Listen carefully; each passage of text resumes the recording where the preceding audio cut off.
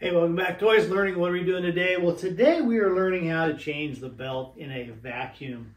if you have a Dyson or one of the newer ones, you don't even have a belt. So this is for if you got one of the older models. This is a Riccar 8900 and it started smoking on mama and uh, making a burning smell that was horrendous.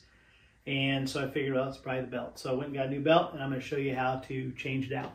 Okay, so the first thing you're going to want to do is you're going to flip this bad boy on its back, or you can flip it on its front, whichever is easier. Let's let's go front. Maybe maybe we can see it a little better. All right, so you flip it on its front. I've got it still engaged, so it's locked in place. first thing we're going to do is we're going to open up these two screws. They're just right here, the Phillips.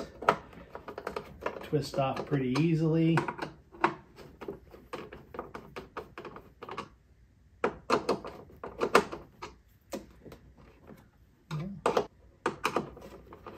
You're a drill guy, they, they probably go even faster. I don't know. I always tend to take them out with a screwdriver. All right, so you're gonna pop the front cover off. It's kind of got a little groove that holds it on, so you want to take it off and then push it down. And here's the brush. This is the brush that goes in here. And as you can see, I already have a new belt on here.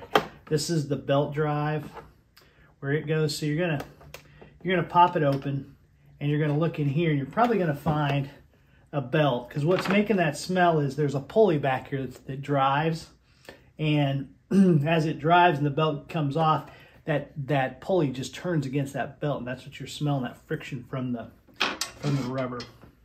Once you get exposed we're going to pull this little clip here and this just kind of pops out. It's just uh, kind of a spacer to hold it in place.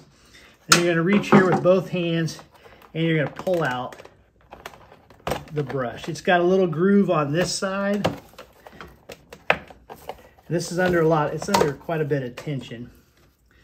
Okay, gonna take that off and then there's a little, there's a little, um, I don't know what you call it, spring, and it slides in a little hole here. Show you this little hole here. It just slides in there. That's when you're going from carpet to floor, it'll, it'll engage and disengage this. So we'll put that back in later. And then here is the I'm to kind of get up in here.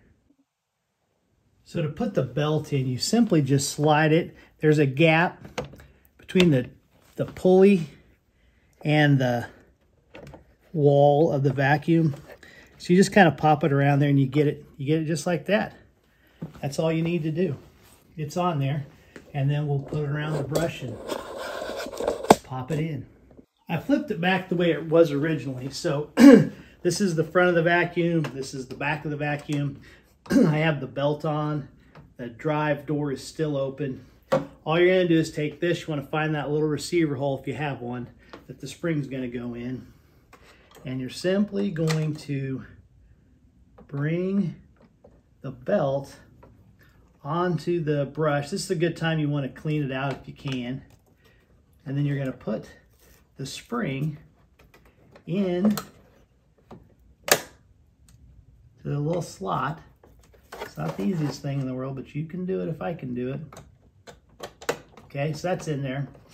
Now with both hands, you're gonna put equal force. This side goes in a little slot over here.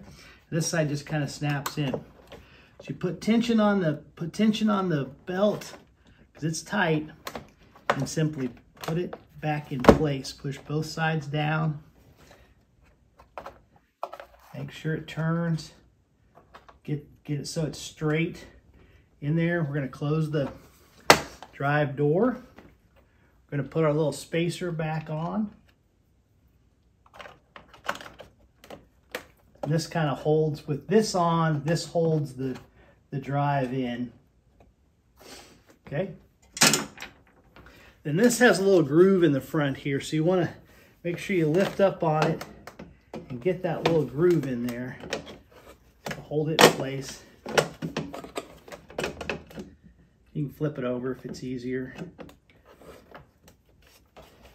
Just want to make sure that's that's snug on there. Now let's flip it on its back just to make sure. So you put this little channel got a couple little grooves you're going to put it over. Snap that on. Line it up with your holes. You can kind of see them in there. Start the screw. Make sure you line up your other hole over here. Start that screw.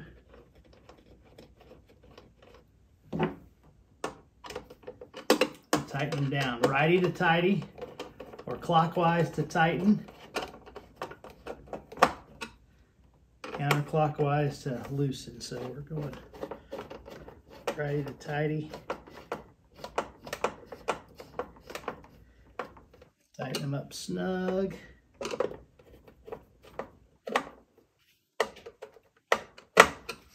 All right. there you go. That's how you change a belt in an old vacuum with the belt. So anyway, this has been a great vacuum for like 20, 25 years. Highly recommend one. It has a little more power than the uh, battery operated Dyson ones do. Gotta have a cord, but man, it works well. So thanks for watching.